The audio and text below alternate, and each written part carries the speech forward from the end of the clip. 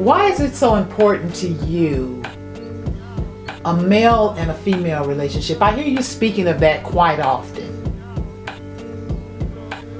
Well, because our women today, uh, please forgive me, ladies, for the ignorancy, the dumb assness of the men today. They have no idea who you are. They have no fucking idea what you represent. To me, they are stupid, ignorant, and they have no idea, understanding, perception or any kind of relationship with a true woman because they don't know who the fuck they are. And if they knew who they was, they would treat you a whole lot better. I feel that a woman is the foundation for every man. A man can't be a man without a strong, powerful woman. Every powerful king or every powerful leader in our history has had a great woman